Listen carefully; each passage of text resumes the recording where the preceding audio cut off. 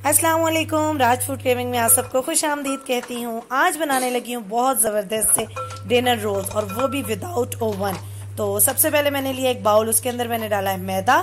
अब मैं उसमें ऐड करने लगी हूँ यीस्ट जो राइजिंग एजेंट कहलाता है। उसके बाद मैं ऐड कर दूँगी शुगर शुगर जो है तकरीबन one table spoon sugar add करूँगी मैं इसके अंदर। और शुगर आप देख सकते हैं कि जो नॉर्मल हम इस्तेमाल करते हैं, वही शुगर मैंने इसमें ऐड की है। इसके बाद अब इसमें ऐड कर दूँगी दूध, हाफ़ कप। अब हम इसको कर लेंगे अच्छे से मिक्स साथ इसमें ऐड कर दूँगी one egg full egg room temperature पर होना चाहिए। मिल्क भी जो है, उसका भी जो टेम्परेचर है, वो रूम पे होना चाहिए। इसके बाद मैं ऐड कर दूँगी इसमें बटर तकरीबन टू टेबल स्पून बटर ठीक है जी? बहुत अच्छा सा जो है हम डो तैयार करेंगे इसकी। अब आते हैं हम इसकी मिक्सिंग की तरफ़ तमाम चीज़ें हमने इसके अंदर जो है इंग्रेडिएंट्स डाल दिए हैं। और अब मैंने इसमें ऐड किया है सॉल्ट हसबे ज़रूरत। सॉल्ट कोशिश कीजिएगा कम से कम इस्तेमाल करें। ठीक है, अब हम इसको करते हैं अपने हाथों की मदद से मिक्स अच्छा सा हम इसकी डो तैयार करते हैं। ये देखिए आप, कितना ज़बरदस्त, कितना सॉफ्ट जितनी सॉफ्ट डो होगी, इतना ही अच्छे डिनर रोल्स तैयार होते हैं। ये याद रखिएगा। डो की पहचान होती है सॉफ्ट डो जो है वो सॉफ्ट डिनर रोल्स बनाता है। ये देखें ज़बरदस्त सा जो है वो डो तैयार हो चुकी है। अब इसके बाउल के अंदर मैंने इसको अच्छे से ऑयल और ग्रीस कर दिया है और इसको अब मैं तकरीबन थ्री टू फोर आवर्स जितनी देर आप रख सकते हैं, आप रखें।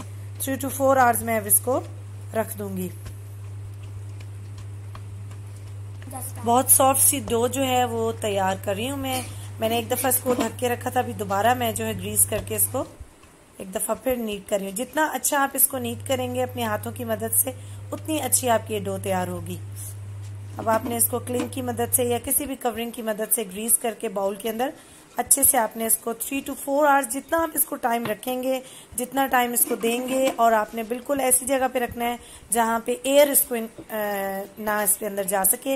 इसको कवर कर दें या तो कपड़े की मदद से या क्लिंग की मदद से भी आप इसको एयर टाइट कर सकते हैं। मैंने ओवन के अंदर रख दिया था और ओवन का बटन बंद था।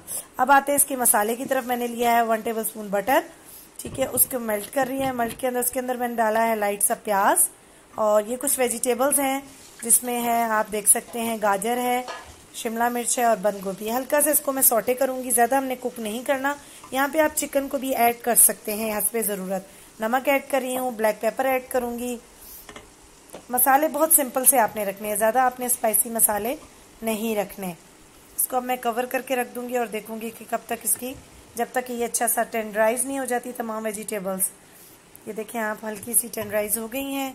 अब आते हैं, हम देखें, तकरीबन फोर आवर्स गुजर चुके थे और देखें डबल हो चुकी है डो इसको अच्छे से मैं एक दफ़ा फिर नीट कर दूँगी और आप देख लें कितनी सॉफ्ट डो मैंने बनाई है। ये इसकी पहचान है। शेल्फ को मैंने अच्छे से साफ़ कर दिया था। अब डो को मैं जो है एक अच्छा सा बड़ा सा पेड़ा बना रही हूँ। डो को मैंने ले लिया है अच्छा सा मैंने इसका गोल सा पेड़ा बनाया है। और बेलन की मदद से थोड़ा सा इसको मैं बेलूँगी, क्योंकि हमने इसके पार्टीशन करनी है पार्ट्स बनाने हैं, और बेलन की मदद से मैंने नाइफ ले लिया, आप देख सकते हैं। थोड़ा बहुत मैंने बेला इतना ज़्यादा बेलें। रोल किया है रोलिंग से जो है, बहुत ज़बरदस्त इसकी लेयर्स आई थी डिनर रोल्स की। वैसे आप वैसे भी कर सकते हैं। देखिए, मैंने पीसेस में काट दिया था, तकरीबन आई थिंक सिक्स पीसेस बनाए थे मैंने, और अब तमाम जो भी डो है, उसके मैं पेड़े बना रही हूँ। अच्छे से गोल पेड़े आप देख सकते हैं। इसी तरह मैं तमाम डो के जो भी मैंने पार्ट्स बनाए थे, उनके मैं गोल करके पेड़े बना लूँगी अच्छे से। अब वन बाय वन करके पेड़ों को, तमामों को मैं बेल लेंगे। फ़र्स्ट ऑफ़ ऑल मैंने एक पेड़ा लिया है। पहले हाथों की मदद से इसको मैं बेलूँगी और उसके बाद मैं बेलन की मदद से उसको बेल लूँगी।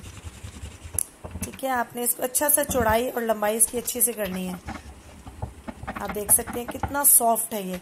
जस्ट मेरे रखने की देर थी बेलन और ये ऑटोमेटिकली जो है ये अच्छी सी बेल रही है। आप देख सकते हैं कितना लंबा और कितना चौड़ा मैं इसको बेल रही हूँ। अब इसके अंदर हमने मसाले की फिलिंग करनी है। ये देखिए, ये वेजिटेबल्स का मसाला जो मैंने बताया, बनाया था, उसकी मैं फिलिंग कर रही हूँ। साथ मैंने चीज़ भी ऐड कर दी है, ज़बरदस्त किस्म की। पहले साइडों से फोल्ड किया और फिर उसके बाद ऊपर से ला के इसको रोल किया है। लास्ट में थोड़ा सा जरा सा प्रेस कर दीजिएगा यहाँ से, ताकि जो है ना, अच्छे से ये बंद हो जाए, खुले नहीं। इसी तरह तमाम जो मेरे उनको बेला है मैंने और बना लिए हैं डिनर रोल्स उसके बाद मैंने लिए है फ्राइंग डिश जो होती है मेरी। पिज़्ज़ा डिश है इसी पे मैंने और ग्रीस किया है अच्छे से ब्रश की मदद से। और तमाम डिनर रोल्स को मैं इसके अंदर अब ट्रांसफ़र कर दूँगी। जो देचका है, वो मैंने पहले से प्री हीट किया हुआ है तकरीबन 30 मिनट फुल फ्लेम पर। जितना अच्छा प्री हीट होगा आपका ओवन या देचका जिसमें आप बना रहे हैं, उतने अच्छे डिनर रोल्स बनेंगे। अब ऊपर से जो है एग यॉक लिया है मैंने। एग यॉक जो है मैं ऊपर लगा रही हूँ इससे बहुत अच्छा कलर भी आता है और ऊपर से बहुत अच्छा इनका टेक्सचर आता है। ये मैंने तमाम डिनर रोल्स के ऊपर जो है वो लगा दिया है।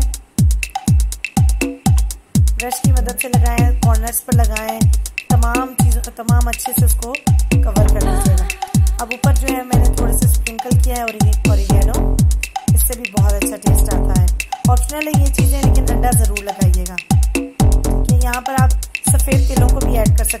वो पाएगी मैंने प्री करे हो तो देच का।